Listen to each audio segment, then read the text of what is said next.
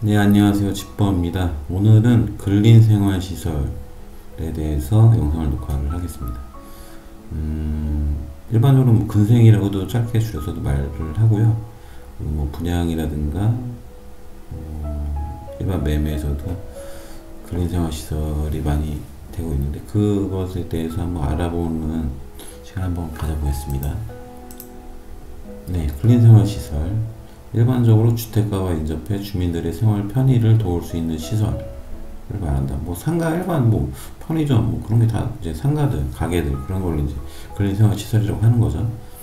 건축법에 의한 용도별 건축물의 종류상 제1종 근린생활 시설과 제2종 근린생활 시설로 나눈다. 그러니까 1종하고 2종으로 나눈다. 예, 이게 건축법으로 나눈다. 뭐 기억해 주시고요. 그리고 이 근린생활 시설이라는 게 서류상에 보시면 뭐 매매라든가 임대 들어가 보시면 건축물 대장 같은 경우 이렇게 확인하실 일이 있을 텐데 보시면 주 용도라는 그 항목인데 거기에 보시면 뭐 1종이나 2종이나 해서 근린생활 시설 표시가 되거든요. 네. 자, 1종 근린생활 시설. 국민이 생활하면서 편리하게 이용할 수 있는 꼭 필요한 필수적인 시설이다. 음, 저는 이걸 이렇게 암기했습니다. 남자는 일종이 필수다. 운전, 운전 말씀드린 거고요. 그렇게 외우시면 좀 편할 것 같아요. 뭐 여자분들도 일종 필수다. 그렇게 외우셔도 괜찮고요. 남녀 평등이니까요. 자, 그러니까 일종 필수. 예, 그렇게 외워주시면 되실 것 같아요. 음, 일종 근린생활 시설.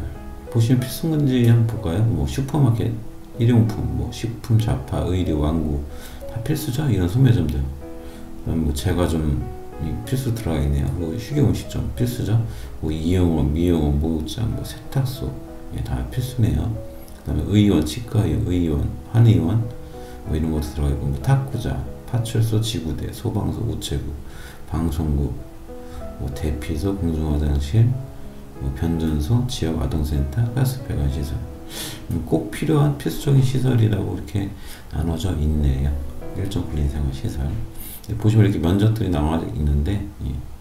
면적으로도 이제 구분이 좀 되는 거 뭐 유의하시면 될 것 같고 뭐 이걸 다 외우실 필요는 없을 것 같고요 그냥 아이 첫 번째 내용 정도만 알고 계시면 될 것 같아요 아 이거 필수적인 시설이다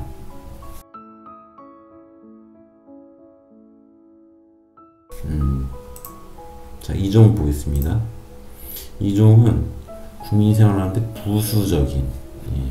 1종은 필수면 2종은 부수다. 뭐 당연한 얘기죠. 부수가 뭐냐? 취미와 편의 시설을 말한다. 1종보다 뭐큰 규모가 해당되고요. 한번 보겠습니다.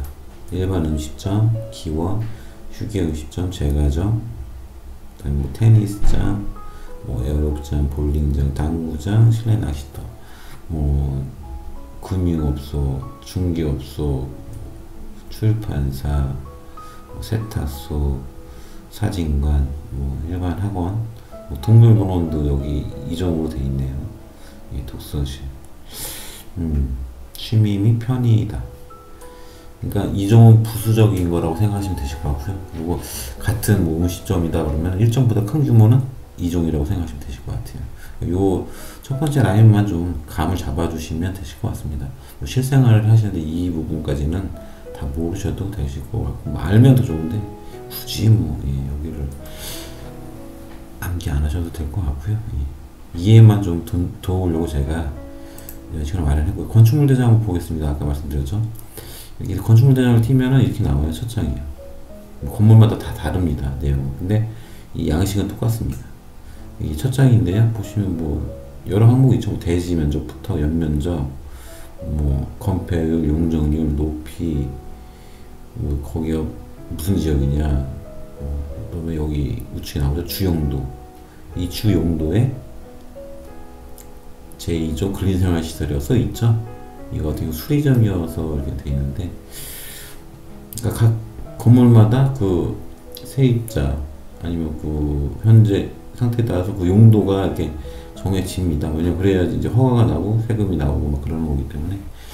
그래서 근린생활 시설 근생 근생 뭐 용도 변경 뭐 그런 내용을 다음 시간에도 한번 다뤄보려고 하는데요. 이번 시간에는 이렇게 제 1종 근린생활시설, 제 2종 근린생활시설 과연 무엇이냐 그런 내용에 대해서 한번 짧게 녹화를 했고요. 예, 오늘은 여기까지고 제가 다음 시간에는 말씀드린 대로 어, 근린생활시설 용도 변경에 대해서 한번 음, 함께 한번 영상을 이렇게 올려서 공부할 수 있는 시간 한번 가져보겠습니다. 예, 도움이 되셨으면 가실 때 구독 한번 부탁드리겠습니다. 감사합니다.